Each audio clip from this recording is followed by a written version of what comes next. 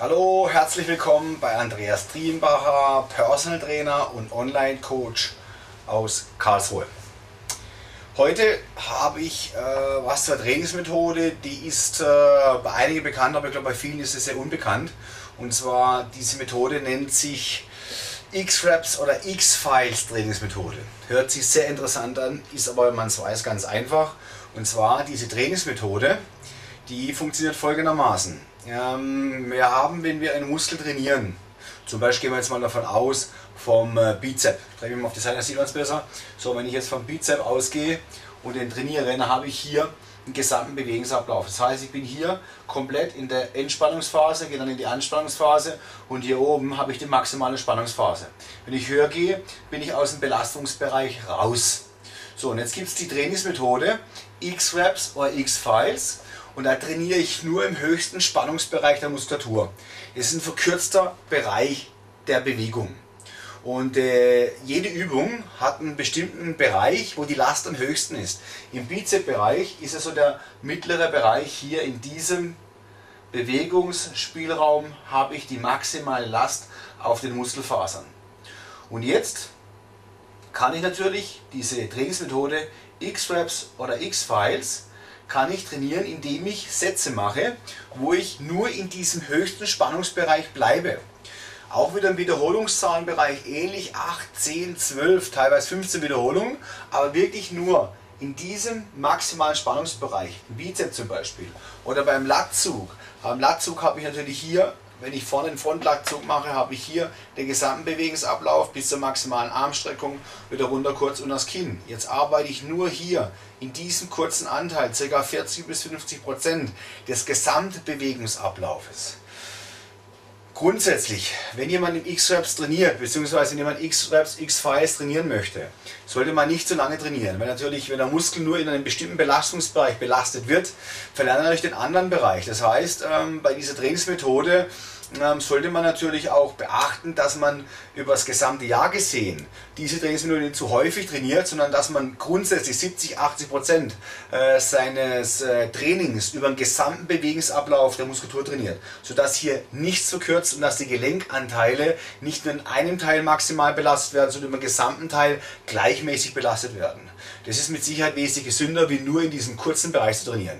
Aber man kann auch mal zwischendurch diese X-Reps-Methode anwenden. Entweder ich mache drei, vier Wochen lang äh, im, zweimal im Jahr komplett diese X-Reps-Methode, dass ich alle Übungen in diesem kurzen Spannungsbereich ausführe. Oder was man auch machen kann, ist, dass man einen Satz macht über einen langen Bewegungsspielraum, also kompletter Bewegungsablauf des Muskels. Und dann im Anschluss, als Supersatz zum Beispiel, die nächste Übung entweder in der gleichen Muskelgruppe oder in der gegenüberliegenden Muskelgruppe nur im höchsten Spannungsbereich absolviert. Oder ich mache eine Reduktionsmethode. Ich mache einen Satz oder ein, zwei Sätze über den gesamten Bewegungsablauf, reduziere von Satz zu Satz das Gewicht, weil ich eine relativ kurze Pause habe und mache dann zum Beispiel Satz 3 und 4 in diesem kurzen Belastungsbereich.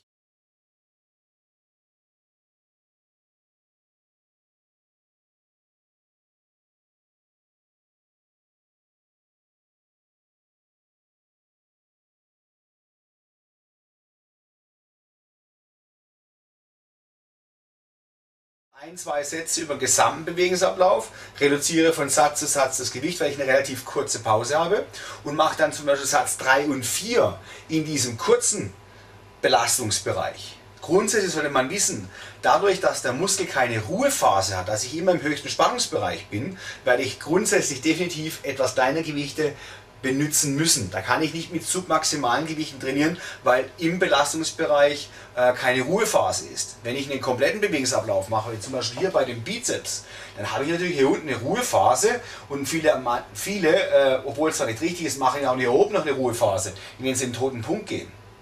Also grundsätzlich ähm, sollte man äh, Mix-Reps nicht das ganze Jahr machen, sondern zyklisch trainieren. Man kann es als alleiniges Trainingsprogramm alle Übungen als X-Reps rausführen, ist eine Möglichkeit. Man kann es hinten dran setzen, ans Ende des Trainings, beziehungsweise als Satz 2, Satz 3, im Supersatz, im Supersatz antagonistisch und in der Reduktionsmethode. Macht alles Sinn. Gibt einen riesen Pump, kann ich euch nur versprechen. Ist mal eine interessante Trainingsmethode.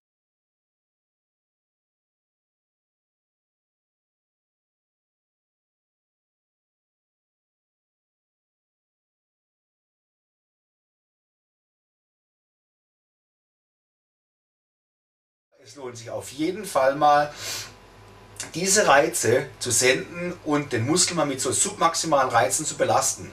Gibt wirklich einen extrem schönen Pump. Und auch hier im Bereich der äh, Muskulatur kann ich dadurch wieder neue Reize setzen.